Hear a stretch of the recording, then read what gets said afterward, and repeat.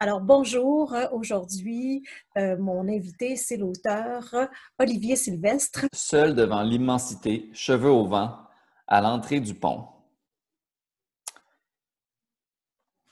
Je suis là, tout seul, à l'entrée du pont. Pire soirée depuis que je sais marcher.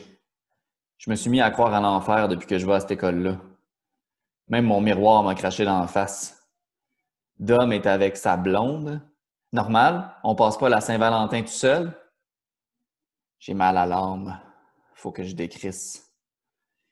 J'entends la ville de l'autre côté qui me dit Viens, viens. Je grelotte dans ma petite veste. Chris d'épais, de con, de cave, de débile, de f... Il est là au-dessus à me regarder. Qu'est-ce que tu me veux, toi, le pont? Je te traverse si ça me tente, OK? Je me demande pourquoi je ne l'ai pas encore fait. Regarde-moi. Je marche, j'avance. La ville est à peine éclairée. Ils n'ont pas besoin de grandes lettres là-bas pour s'annoncer. Ils doivent vraiment s'en crisser de nous autres à la ville, comme d'hommes qui se crissent bien de moi. J'espère que tu es heureux en amoureux avec ta blonde. Plus j'avance, plus le pont s'allonge. Interminable on entend une espèce de vrombissement sourd comme un gros chien qui grogne entre ses dents. Tout à coup, ça se met à trembler en dessous de mes pieds puis, à grogner comme, comme un gros chien. Tu me fais pas peur, le pont, que je crie? J'avance, j'avance, je recule pas. À chaque pas que je fais, la ville s'éloigne un peu plus de moi. Le grondement plus fort, la neige plus violente. Je mange des pelletées de neige tous les jours, il y a un comédien qui prend possession de mon corps. Il est là, il est tout le temps là. C'est un gars qui joue au gars, qui essaye d'être plus grand, plus fort, plus viril, qui aime tout ce que les gars aiment, qui se prend une voix grave, qui fait attention de jamais laisser tomber ses poignets, qui, est raide comme s'il avait avalé une planche à repasser, qui, fait tout pour pas que les autres remarquent qu'il y a quelque chose qui va pas avec lui. C'est pourtant pas compliqué. Je veux juste être un gars. Tu comprends tout ça, le pont? Juste être un gars, juste un gars, je veux juste être un gars, juste un gars. Ah! On dirait que toute la terre vrombit et le pauvre Fred qui se débat comme un forcené. La rampe est pas haute. La rivière en dessous de mes pieds est noire puis gelée. Je vais me jeter. Ouais. Ouais, ça va être fini tout ça, là. Pas grand monde qui me pleurait. Partir sans laisser de traces. Aller te rejoindre en haut, maman. On ne voit plus rien. Un long instant. On pourrait penser qu'il s'est jeté pour vrai. Bon, OK. Je revire de bord. Là, t'es content, le pont? Tout se remet en place. Presque la ville était juste là, derrière, à trois pas. Je suis revenu dans le temps de le dire.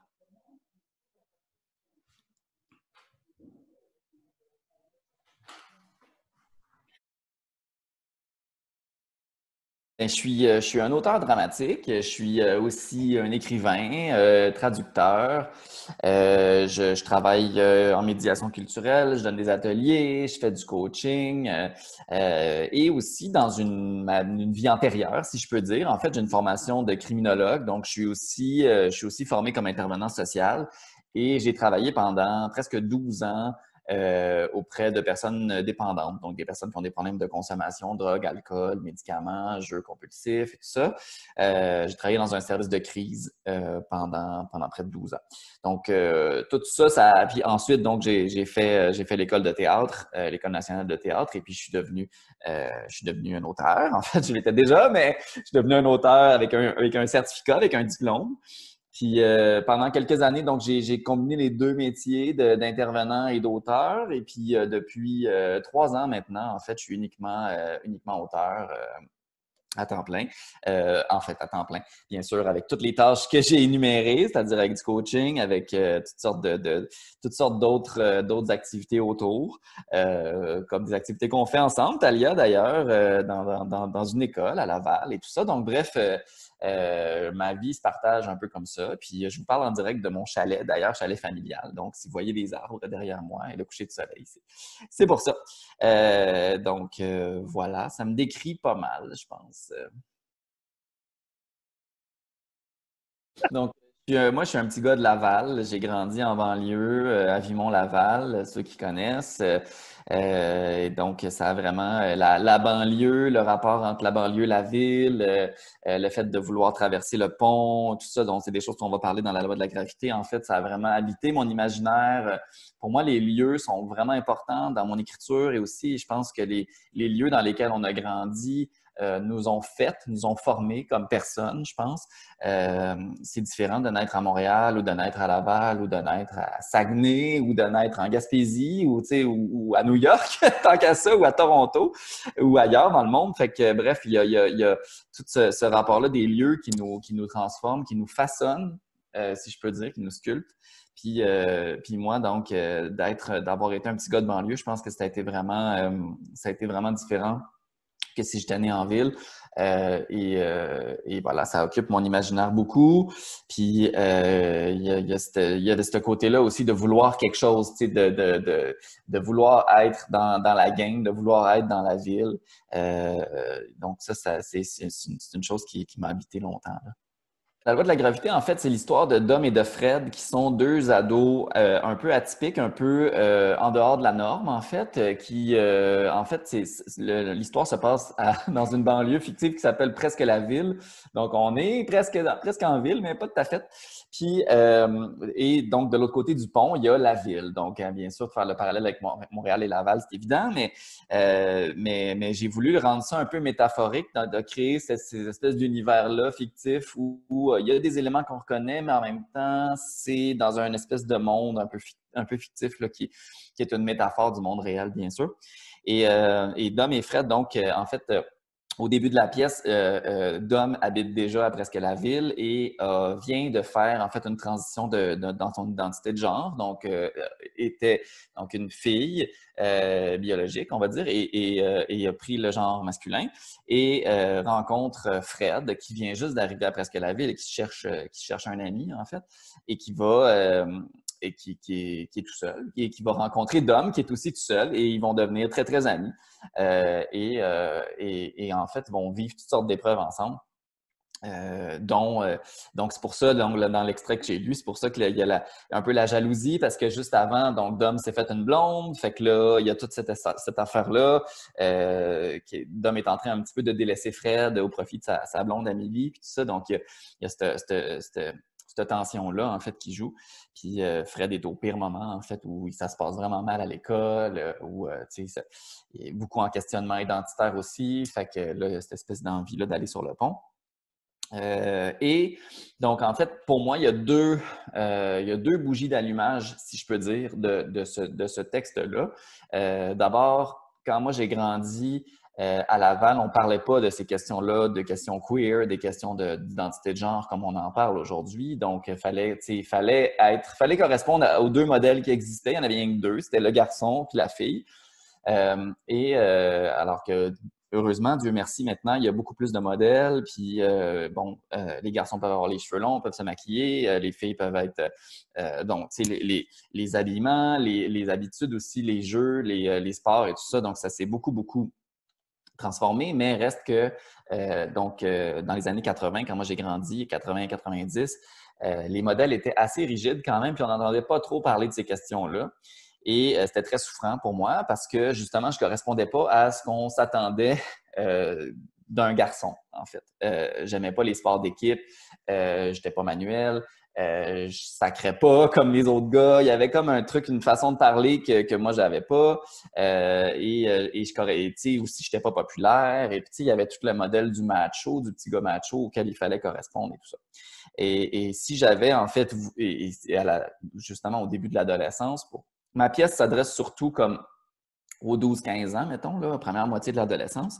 Puis si moi, j'avais voulu voir une... Tu sais, si j'avais vu cette pièce-là, La loi de la gravité, quand j'étais ado, je pense que ça m'aurait beaucoup aidé, puis ça m'aurait comme... ça m'aurait détendu, puis ça m'aurait peut-être aidé, libéré de quelque chose. Euh, donc, j'ai écrit la pièce, en fait, que j'aurais voulu entendre à cet âge-là. Puis, euh, que ça a donné la loi de la gravité. Puis aussi, parallèlement à ça, euh, donc parallèlement à ce questionnement-là, qui est vraiment un truc intime, identitaire, si je peux dire, à l'âge adulte, en fait, j'ai rencontré une personne qui est devenue mon meilleur ami, qui s'appelle Maxime et qui, qui, a, fait une transition, en fait, la, transition que Dom décrit, mais plus loin dans la vie, c'est-à-dire du genre féminin au genre masculin.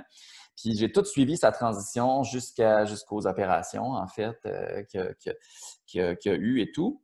Euh, et puis maintenant, donc, euh, après, après avoir vécu tout ce, tout ce parcours-là, maintenant, il se définit plus comme non-binaire que comme, euh, que comme homme, en fait. Donc, c'est intéressant de voir le, le, cheminement aussi parce que longtemps, ou en tout cas dans les, dernières 40 années, on va dire, quand on était, quand on sentait qu'on était trans, il y avait, fallait comme correspondre à la binarité des genres. Donc, si tu étais, si étais dans ta tête, tu étais une femme mais que tu avais un corps d'homme, mais il fallait que tu subisses les opérations pour devenir euh, de l'autre sexe et vice-versa. Alors que maintenant, il y a toutes les options entre les deux qui sont possibles. Donc, euh, euh, et, c'est tant mieux. Et donc, avec Maxime, j'ai suivi tout son, parcours. Puis, c'est lui donc, qui a beaucoup inspiré le personnage de Dom qui vit ce type de, de transition-là. donc, voilà.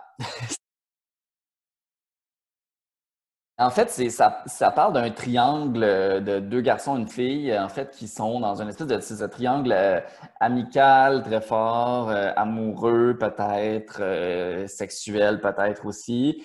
Et, et, ça parle en fait beaucoup d'amitié et de et oui de encore une fois d'une question identitaire, c'est-à-dire bien sûr d'orientation sexuelle, euh, mais sans, sans aborder vraiment parce que dans, dans ces questions-là, il y a eu beaucoup de il y a beaucoup de films ou beaucoup d'œuvres sur la question du coming out, le fameux coming out qu'on fait à nos parents, puis toute la crise qui s'ensuit ou pas, puis tout ça, tout ça.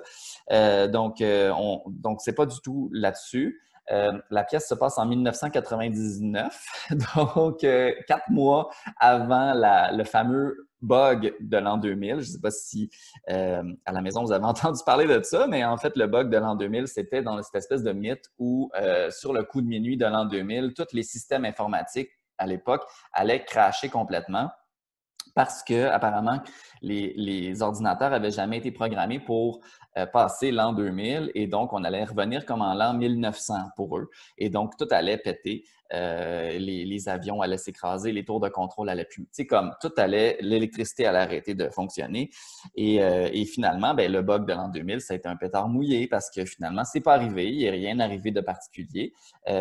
mais, mais ce qu'on a su par après, c'est qu'il y a eu une, toute une armée d'informaticiens de, et de gens qui ont travaillé à, à prévenir le bug. Mais donc, euh, bref, et, donc, euh, la prémisse, c'est celle-là, c'est-à-dire que dans la tête de Holly, le personnage principal, il va réellement y avoir la fin du monde sur le coup de l'an 2000. Et donc, ça, c'est important parce que au moment où ça commence, au mois d'août, fin du mois d'août, fin des vacances d'été 1999, euh, Oli sort avec So, euh, sa, blonde, et euh, ils se promettent de faire l'amour avant le bug de l'an 2000 parce que c'est vraiment important pour lui. Il, veut, il faut absolument qu'il fasse l'amour avant la fin, avant la fin du monde. Euh, et, là arrive le cégep et l'élément déclencheur, si je peux dire, de, l'histoire, c'est l'arrivée de Ben.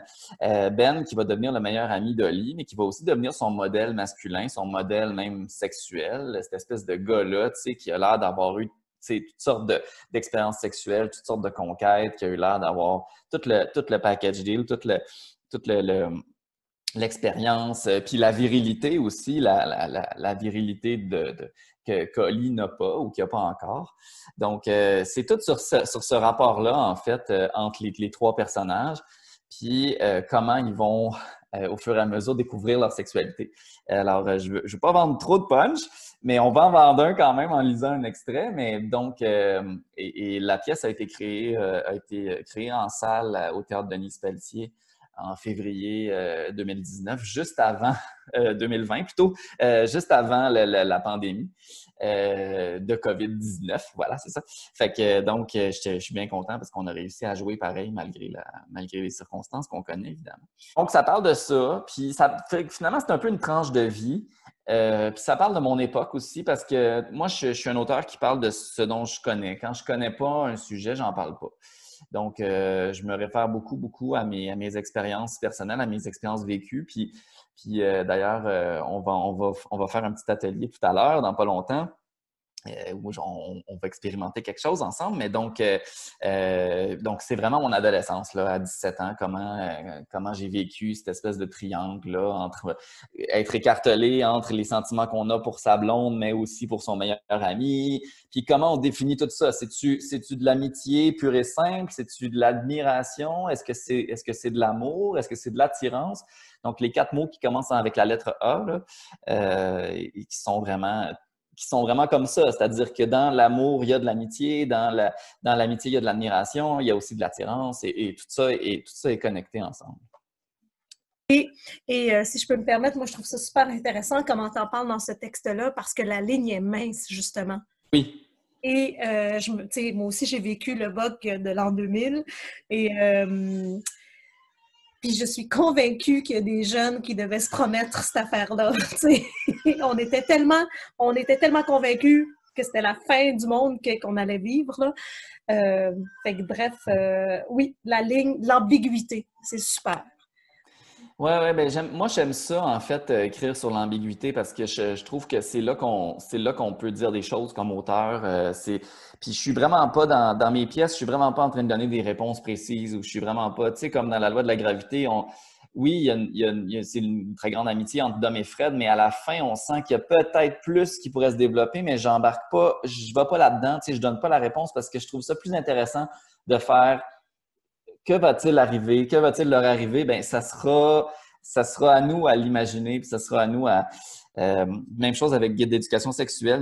La, finale est ouverte. On sait pas, on sait pas ce qui leur arrive, puis peut-être que peut-être qu'ils vont vivre encore toutes sortes de choses. Donc euh, voilà. Comment j'écris, c'est que je me base beaucoup sur mes souvenirs ou sur, euh, sur des expériences que j'ai vécues, qui sont souvent des petites anecdotes qui sont le, qui peuvent être le déclencheur de, de récits ou d'histoires euh, qui, qui, me déclenchent dans l'écriture, en fait. Donc, euh, donc c'est très, très simple. donc, on va se donner 10 minutes. À partir de maintenant, on va se mettre un chronomètre, d'ailleurs. Peut-être que Talia, tu peux en mettre un ou... oui, je m'en occupe. Et donc, l'exercice s'appelle Je me souviens. Donc, c'est tout simple. En fait, on doit euh, on doit compléter dix fois la phrase qui commence par Je me souviens. Et euh, on se base sur, des, sur nos propres souvenirs. Mais on peut aussi inventer. Euh, on peut aussi tout à fait inventer. Et en fait, ce qui est intéressant là-dedans, c'est de développer un petit peu sa phrase. Parce que c'est sûr que si on dit je me souviens de grand-maman, bon, ben super, tu te souviens de grand-maman. Mais peut-être que tu peux dire je me souviens de grand-maman tel jour, quand tu as telle affaire, puis que moi j'étais là, puis tout ça. Fait qu'on peut, ça peut être des longues phrases. C'est pour ça qu'on se donne un bon 10 minutes pour le faire. Euh, une minute par phrase. Donc, euh, c'est. faut que ça gaule quand même et essayez de ne pas trop penser, pas trop réfléchir. Les premiers souvenirs qui vous viennent sont les bons. Donc, euh, on se donne un, décompte dans 3, 2, 1. C'est parti.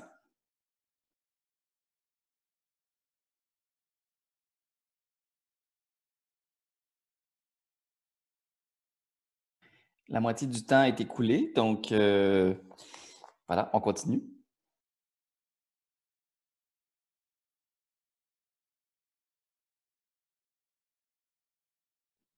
Pas besoin de chercher des souvenirs abracadabra, juste euh, les premières choses qui vous viennent. Ça peut être un souvenir récent, ça peut être aussi un souvenir très lointain.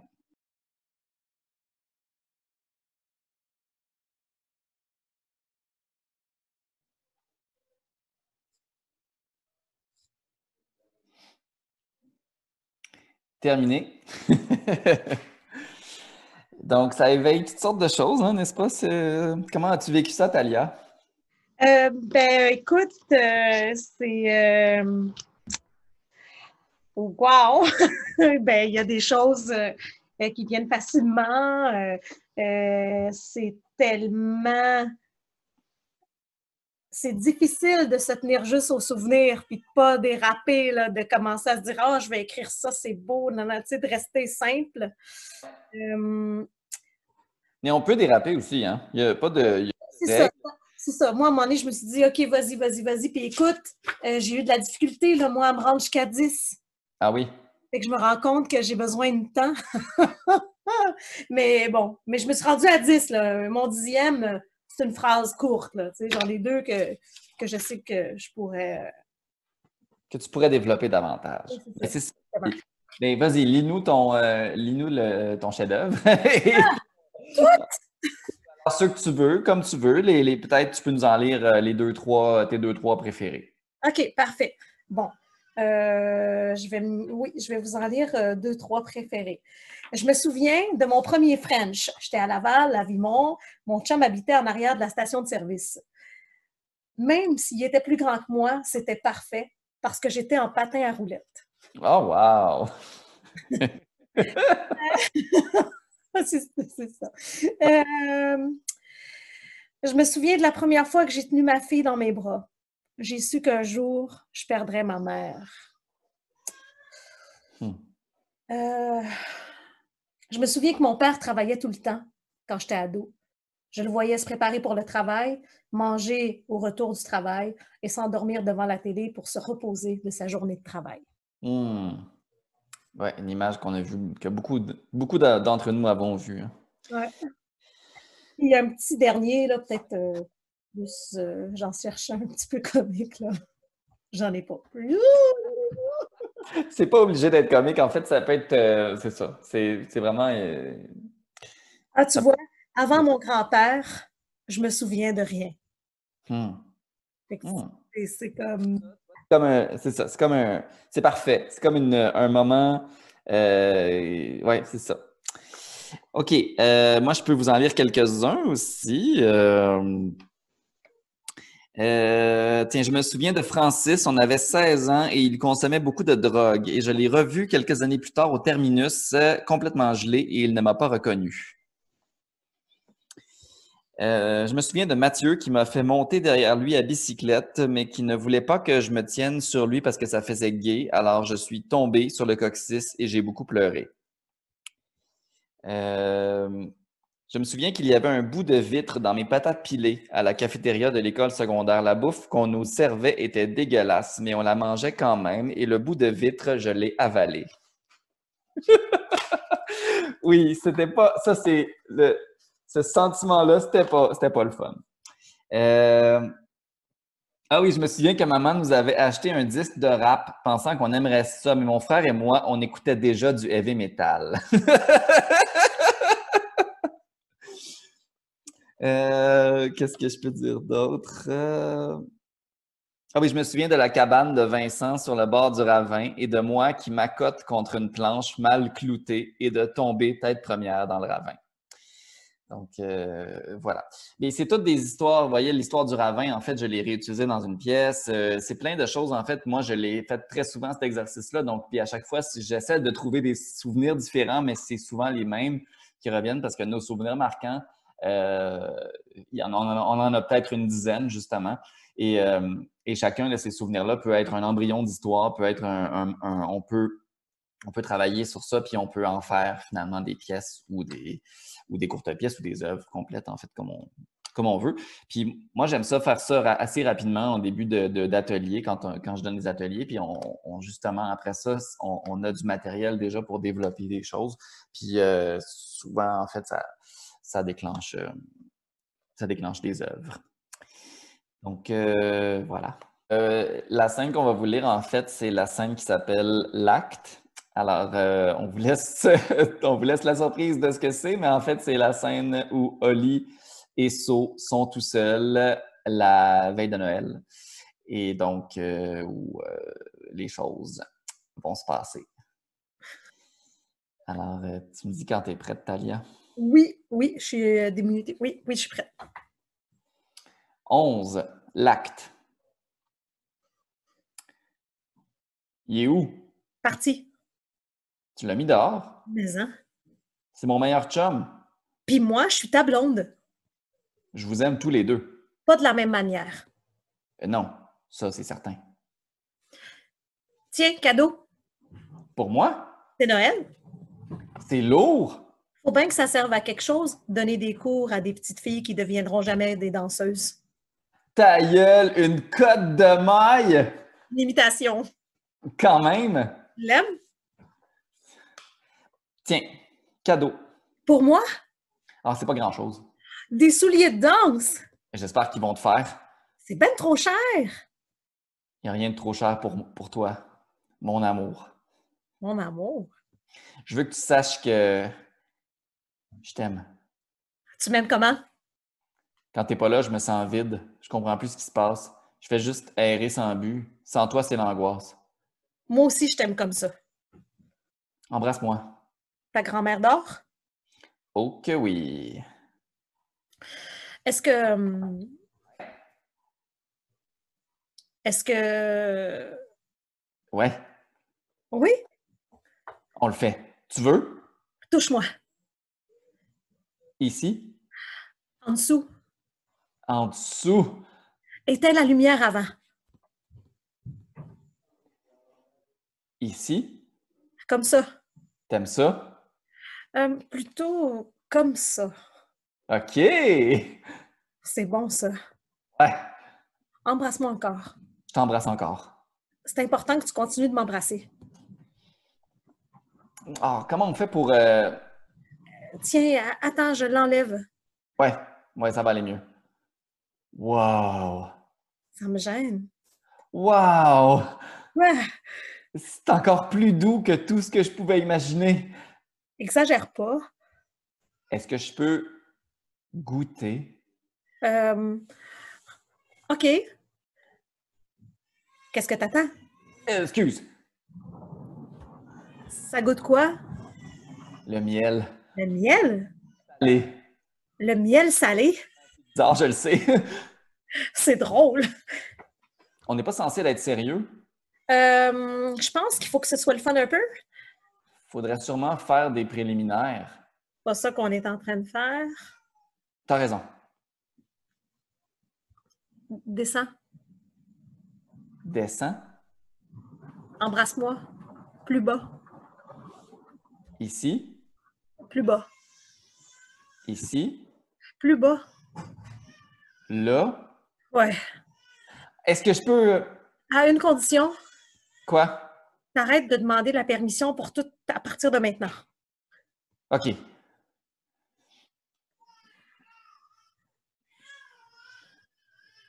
T'aimes ça? Hum, oui, Je continue? je te supplie. Hey, euh, ça goûte... euh, Je veux pas le savoir. Je regarde le cadran à côté du lit. Il faudrait que je le fasse au moins pendant deux minutes. OK. OK, OK, c'est beau. C'est beau, remonte. Déjà? Mon tour. Ton tour. Si tu me le dis. Tu me le dis si je te fais mal. Pas mal. Attends, j'ai même pas commencé. Excuse. Ta gueule! C'est bon? Trop bon! Oh. Qu'est-ce que t'as? OK, remonte là. J'ai trop envie, là. Moi aussi. On le fait, on le fait. J'en ai acheté trois sortes différentes. Strié, banane, puis grand format. T'avais prévu le coup? Depuis trois mois. Elle avait même pas dit. Je prends la pilule aussi euh, depuis le début de l'été. Ça non plus, je te l'avais pas dit. OK, pas grave. Euh, je veux dire, super. Est-ce que tu m'aimes? Oui, je t'aime. OK, prends celui que tu veux. Euh, de banane? Banane. Ah. C'est pas évident. Prends ton temps. Merde. Ah, Ouais, c'est plus compliqué en situation réelle. là. Doudou, là, tu vas le percer. Parle-moi pas, s'il te plaît. Allume la lumière. Lumière. Ben est là. As-tu besoin d'aide, mon gars? Super. C'est un extrait. Des guides d'éducation sexuelle pour le nouveau millénaire. Mm, mm, mm, mm. Bon. Oups. Excuse-moi. T'es-tu encore là? Tu m'entends? Oh là. Oui, OK, parfait. Ben écoute, c'est super.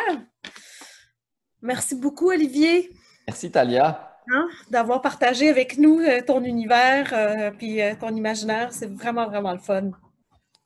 Ben, merci de l'invitation. J'espère que vous avez, euh, vous avez aimé ça.